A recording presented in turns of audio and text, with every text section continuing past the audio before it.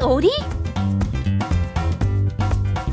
Look at all these hearts!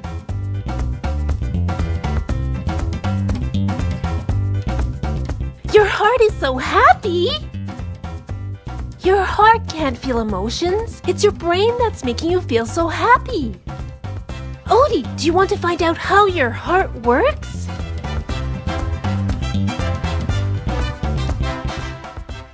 Your heart is a muscle located a little to the left hand side of your chest and is about the size of your fist. Your heart is like a pump that moves blood through your body. Blood carries oxygen and nutrients needed for you to stay alive. Blue is deoxygenated blood or used blood. And red is blood with lots of fresh oxygen. Oxygen rich blood flows from the lungs into the left side of your heart. The oxygenated blood is then pumped out to the rest of your body.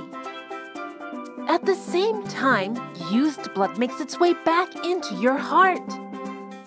The right side of your heart pumps the blood to the lungs where it picks up oxygen again. Now that the blood has both food and oxygen, it is ready to be pumped back into your body.